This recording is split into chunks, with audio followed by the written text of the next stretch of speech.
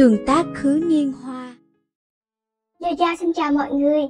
Hôm nay Giao Giao rất là vui được quay trở lại với các bạn trong chương trình diễn đọc của ờ, trường tác khứ niên hoa cho chương 23 đêm hỷ pháp. Là một chương mà Giao Giao biết rằng các bạn rất là mong đợi nè. Giao sẽ không để mọi người chờ lâu. Mọi người cùng Giao Giao thưởng thức cái chương 23 đầy đặc sắc và cái cấn này nha Trích đoạn, chương 23 đêm hỷ pháp chúng ta khứ niên hoa quyển 2 Lê Khạnh hai tay vẫn bị trói quặp ra sau lưng, nhưng quần áo đã được thay sang bộ đồ ngủ bằng lụa sạch sẽ và mềm mại. Cậu bị ba tên gia đình khiêng vào phòng đại thiếu gia, rồi khóa cửa bên ngoài. Đoàn cận đang ngồi tần ngần, nhìn giá sách trong phòng, suy nghĩ mông lung, chán nản. Một người bị ném vào phòng, nằm lăn ra nền nhà bất động làm đoàn cận vân tịnh, đứng dậy, đi nhanh đến chỗ người nợ. Đoàn cận liếc nhìn, đã nhận ra đó là lê cảnh. Thiếu niên vẫn hầu hạ và liếu ríu bên mình mấy năm qua. Anh vội vã chạy qua, đỡ người ngồi lên giường, rồi chậm rãi gỡ từng nút thắt của sợi dây thừng thô to, làm hàng tím sưng phồng làn da của thiếu niên mới lớn. Lê cảnh ngơ ngẩn nhìn khuôn mặt người đàn ông mà mình yêu tha thiết, gần sát trong găng tấc. Người ấy đang mặc một cái áo khoác ngủ bằng lụa màu xanh thẫm, như mọi ngày, nhưng quay hàm cắn chặt, như đang ẩn nhẫn một cách khó khăn. Lê cạnh tưởng chừng mình đang rơi vào một giấc mộng, một giấc mộng trầm luân mà cậu vĩnh viễn không muốn tỉnh lại. Cậu thấy người ấy nhẹ nhàng, gỡ từng nút thắt chặt của sợi dây đang trói mình tựa như đang gỡ từng nút rối trong lòng cậu. Người ấy nhẹ nhàng, sợ làm cậu đau. Mỗi lần chạm vào một vết hằn trên da thịt cậu, người ấy lại nhíu mày, chặt hơn một chút, như muốn cắn chặt tiếng bật xót xa, ra khỏi khóe miệng. Lê cảnh ngơ ngẩn, nhìn người yêu mà không thốt lên được một lời nào. Bất chợt, hắn thấy mình rơi vào một vòng ôm ấm áp, khuôn mặt áp vào lồng ngực săn chắc, nghe từng tiếng tim đập thình thịch vững vàng. Tựa như cái đêm nọ của bao nhiêu năm trước, khi người ấy cứu cậu khỏi đám ác linh hung dữ. Giọng nói trầm ấm của đoàn cận vang lên bên tai cậu. Tiểu cảnh, sao em lại khờ như vậy chứ? Em có biết ý muốn của phụ thân anh không? Tiểu cảnh, anh không nỡ. Em biết là anh không nỡ làm hại cả cuộc đời của em. Anh cũng không nỡ để em chịu đau thay mình. Em hôm nay không nên xông vào chính diện. Cậu hai cậu đoàn cận đặt ngón tay che đôi môi khô nứt. Đang bấp máy muốn nói gì đó của lê cảnh rồi mỉm cười trìu mến nhìn thiếu niên trong vòng tay của mình. Em đừng nói chi hết. Em không cần phải giải thích. Anh hiểu anh đã nói với em nhiều lần. Anh hiểu hết lòng em. Anh không chán ghét hay chối bỏ tình cảm chân thành này của em đó không phải là sự dơ bẩn hay tội lỗi, chỉ là tình cảm, là tình yêu mà thôi. Mà đã là tình yêu thì luôn đáng quý. Chỉ là, mà thôi, chắc em cũng đói rồi, cùng anh ăn tối đi. Đoan cẩn chắc tay thiếu niên, bước đến bên bàn Bắc tiên, phủ khăn gấm bên ngoài bức bình phong. Trên đó, cơm canh nóng đã được sắp xếp đầy đủ.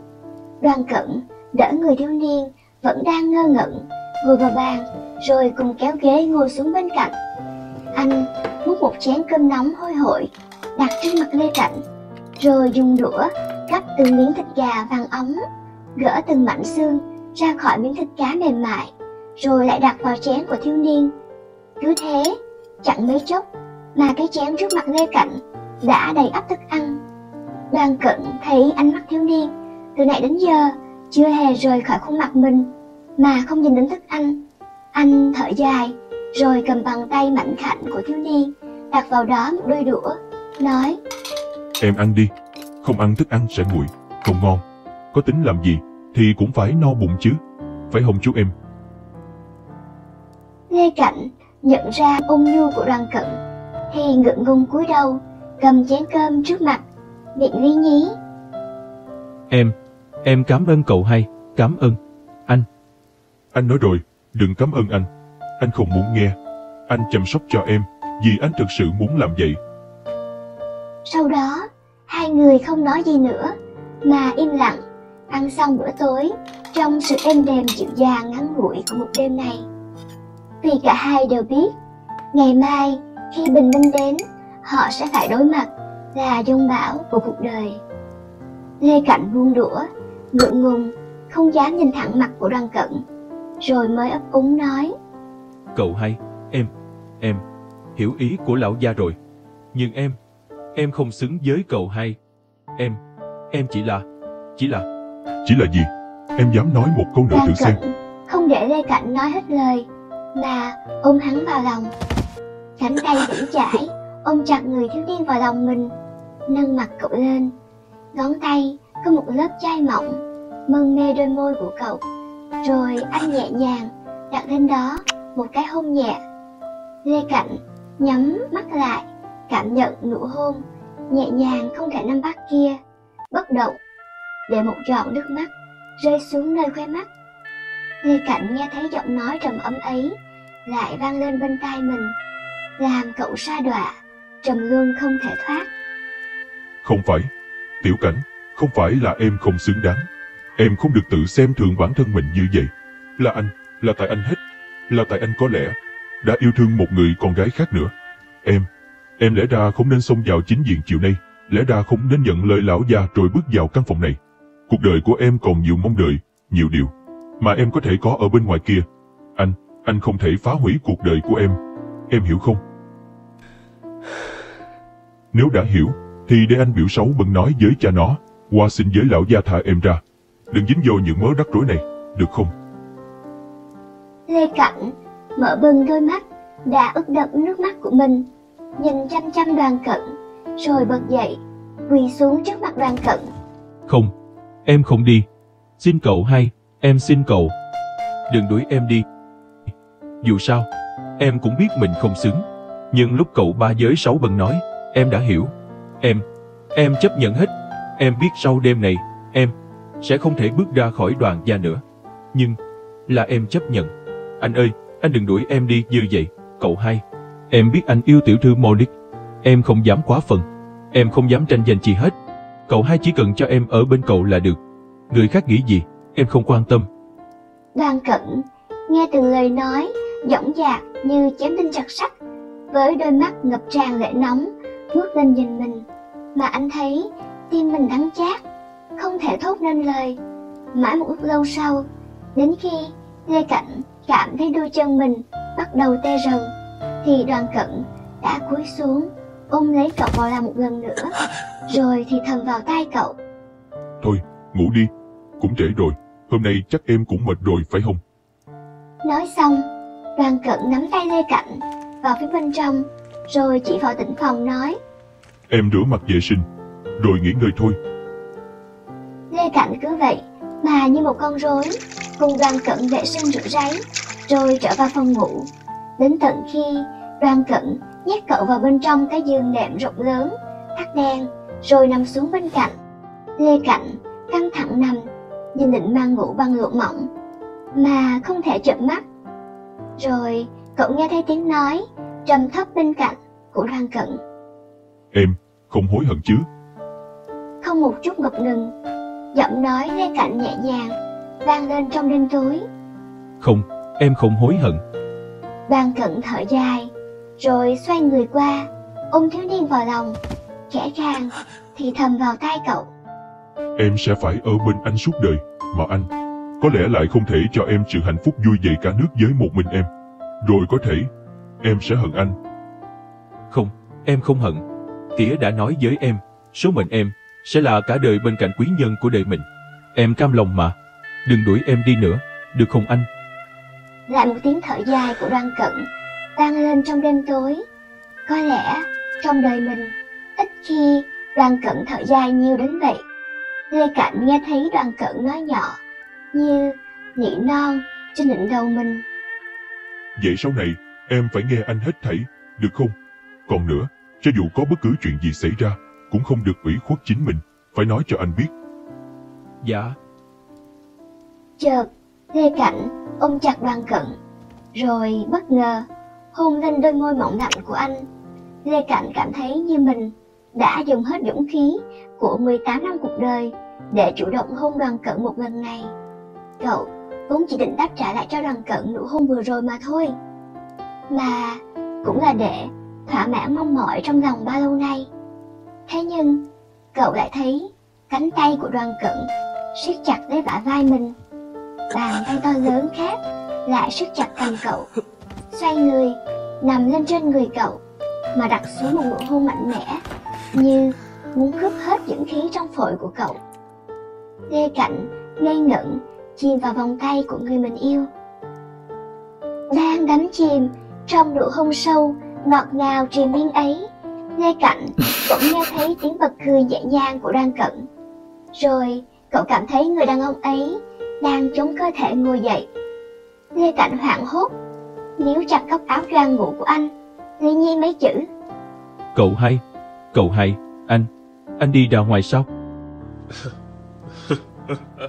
Không có đâu tiểu cảnh, anh đi làm lễ thắp lên Long Phượng Đăng mà lão gia đã chuẩn bị. Tiểu cảnh của anh, sao lại dính người như vậy chứ? Không có, em không có dính người. Nhưng mà, sao lại? Phải thắp đèn vậy. Cậu hai, Vì ban đầu, anh vốn không muốn hủy hoại cuộc đời em. Nhưng, nếu em đã không hối hận, vậy thì đêm nay hãy để hỷ pháp được hoàn thành trọn vẹn. Sau đêm nay, Lê Cảnh, em sẽ là người của đoàn gia dinh diễn, em hiểu không? Lê Cảnh vẫn níu kéo vào áo ngủ của Đoan Cận, lắp bắp nói. có thể, có thể. Không thắp Long Phượng Đăng được không? Cậu hai, Sao vậy tiểu cảnh? Muốn hỷ pháp được thực hành thì phải thắp hai ngọn long phượng đăng này. Mà, anh cũng muốn nhìn thấy em thành người của anh trọn vẹn. Tiểu cảnh, ngoan, nghe lời anh. Lê Cảnh cúi đầu, không nói gì. Một lúc lâu sau, cậu từ từ thả vào áo ngủ của đoàn cận ra, ngượng ngùng gật đầu, miệng lý nhí, nói vài lời mơ hồ không rõ. Đoàn cận lại bật cười, hôn lên trán thiếu niên, rồi đứng dậy, kéo cậu ra gian ngoài, nhanh nhẹn, thắp lên hai ngọn lửa trên đến long phượng, đặt sẵn trên án thư, đã bày đầy đủ lễ. Anh bấm nút, rồi lẩm bẩm vài câu chú, lại kéo Lê cạnh cùng mình quỳ trước án thư có bày bài vị ba đời tổ tiên. Cả hai cùng bái thiên địa và tiền nhân một cách đơn giản. Đoàn cận cất lên giọng nói trầm ấm bằng tiếng hoa. Thái Hoàng Tổ Phụ, Trách Nhi, Đoàn Cẩn, đồng ý hỷ pháp chiêu cáo tổ tiên của gia phụ. Này Trách Nhi kính báo Hoàng Tổ Phụ, cũng như các đời tổ gia gia, Đoàn Cẩn dần Cảnh Nhi, trưởng tử của họ Lê, đất Bạc Liêu, Nam Kỳ, thuộc An Nam Quốc, làm bình thê. 皇室父亲和他的曾孙段紧同意向父亲的祖先致敬。现在 nói xong đoàn cận cúi xuống dập đầu trước linh vị tổ tiên ba lần lê cảnh vẫn ngỡ ngàng há hốc miệng nhìn người mình yêu đang dập đầu trước linh vị mà quên cả tế bái đoàn cận phải kéo tay thì lê cảnh mới hoàn hồn cùng dập đầu với anh mãi đến khi lê cảnh được đoàn cận kéo vào gian trong cậu vẫn lơ mơ lại nghe giọng cười khẽ của đoàn cận Sao vậy tiểu cảnh? Em vui quá nên thất thần rồi sao? không, không phải. Em, em, khi nãy, em nghe cậu hai nói, nói, bình, bình thê.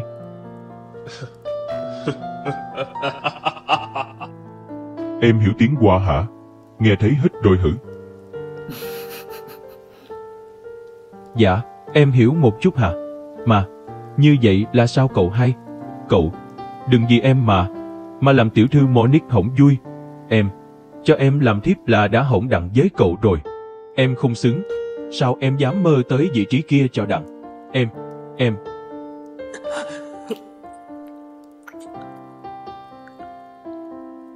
Đoan cận đặt lên môi của thiếu niên nụ hôn ngọt ngào chặn ngang câu nói giữa chừng của cậu rồi sau đó anh lại ôm lê cảnh vào lòng thì thầm bên tai cậu Sao lại không xứng chứ?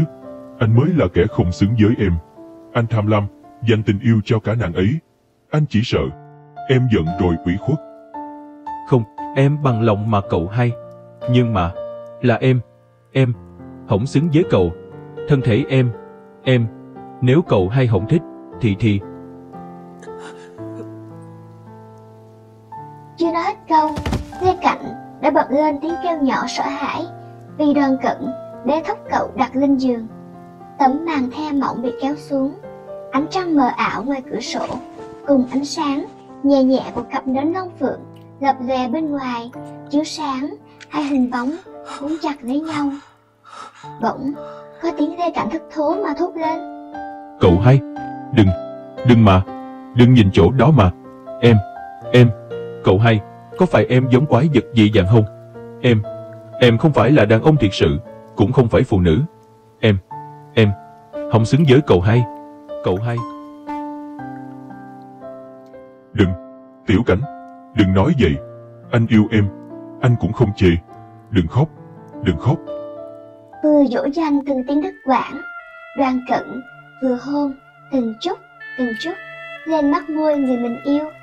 Một đêm trầm luân, bên ngoài cánh cửa phòng đang bị khóa chặt. Sáu bân cùng cha nó và đám gia đình ngày thường vẫn đùa giỡn với Lê Cảnh y như bị định trụ, không thốt nên lời. Cả hành lang, mấy tên con trai mới lớn, không ai dám nói với ai lời nào, nhưng bàn tay đã đỏ hồng như ruột cất. Lão Lý, cha của Sáu Bân, cười cười lườm đám thanh niên mới lớn, rồi nói, Sau bữa nay, tụi bay không được xưng huynh gọi đệ giới, với đại thiếu di phu nữa. Phải gọi là đại thiếu di phu, hoặc là cậu nhỏ, nghe chưa? Dạ, dạ, tụi con biết rồi. Còn nữa, sáng mai di phu có thể trở ra, nhưng đại thiếu gia thì lão gia không cho phép, biết chưa? Dạ, tụi con biết rồi mà. Lão Lý cười cười, rồi quay lưng, tiến đến từ đường đoàn gia, nơi lão gia đang chờ ông tới báo tình hình bên này. Chào chào mọi người, Giao vừa diễn đọc xong toàn bộ chương 23 đêm thị pháp viện 2 trường tác khứ niên hoa thì hy vọng mọi người đã có những cái khoảnh khắc thưởng thức rất là vui nè và có rất là nhiều cảm xúc trong đó ha thực ra cái cuộc đời của đoàn cận với lê cận á mình nói hết bằng một lời cũng không thể nói hết được, đúng không mọi người? Nếu mà mọi người có biết đến hàng mai đó, thì mọi người biết rằng bộ tiểu thuyết này được viết ra, được phong tác dựa trên ký ức được kể lại của hàng mai. Tuy nhiên là mọi người biết rằng là sau khi qua tay tác giả và ban biên tập thì có thể là sẽ có những cái chi tiết nó sẽ được sửa lại một chút. Thế tuy nhiên, mọi người phải hiểu là một tiểu thuyết mà được viết dựa trên một cái câu chuyện có thật thì mọi người sẽ thấy là nó sẽ không phải là hình ảnh màu hồng như là những cái tiểu thuyết được sáng tác sau này. Những gì mà mình cảm thấy là luôn luôn được chiều ý theo theo bàn tay của tác giả thì cái điều này hơi khó với trường tác của liên hoa. Tuy nhiên, giao giao xin bật mí cho mọi người rằng những kẻ yêu nhau thì cuối cùng sẽ hạnh phúc bên nhau mà thôi đó sẽ luôn là một kết thúc có hậu. Mà mình chắc chắn rằng là cứ một định mệnh nào cũng sẽ nằm trong bàn tay của mình. Nếu mình cố gắng hết sức đúng không? Mọi người cùng giao giao đón chờ những chương tiếp theo những phần tiếp theo nha. À, hãy yêu thương đoàn cận nè rồi yêu thương lê cạnh và ban biên tập cũng giao giao nhiều hơn ha. Sau cùng á, thì giao giao cũng xin mọi người là nhớ những đăng ký kênh youtube đăng ký kênh à, facebook cũng như là tặng cho chúng ta nhiều like nè rồi những cái tip uh, à, cho những cái trích đoạn mà ban biên tập cùng thực hiện với giao giao nha. Để mọi người có thêm tinh thần thực hiện thêm nhiều nhiều đoạn nữa trong tương lai cho mọi người. À, cảm ơn mọi người đã ủng hộ rất là nhiều với trường tác Niên hoa. Và xin chào mọi người chúc mọi người một cuối tuần vui vẻ hạnh phúc và tràn ngập tiếng cười cùng với người thân và bạn bè mọi người.